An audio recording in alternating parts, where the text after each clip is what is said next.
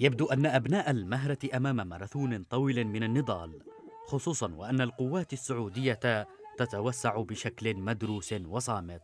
فبعد جولات عديدة من المظاهرات والاعتصامات التي كانت عادة ما تنتهي إلى اتفاقات وتسويات سرعان ما يتم نقضها من قبل الجانب السعودي. يعود أبناء المهرة مجددا إلى ساحات الاعتصام في مديرية حوف لتكرار مطالبة القوات السعودية بتسليم المنافذ والموانئ والمطارات للسلطات المحلية.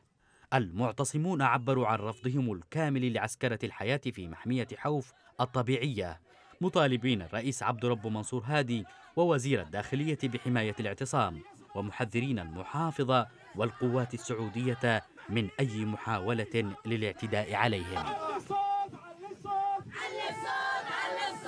تحديات كثيرة يواجهها أبناء المهرة.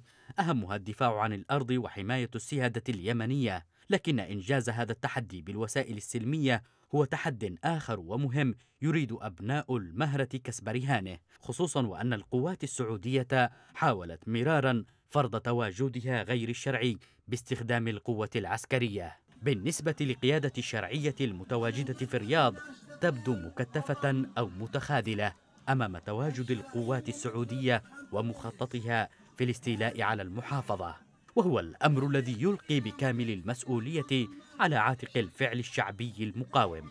ومتى ما كان الشعب حاضرا فلا يمكن لإرادته إلا أن تنتصر ويدحر الطامعون.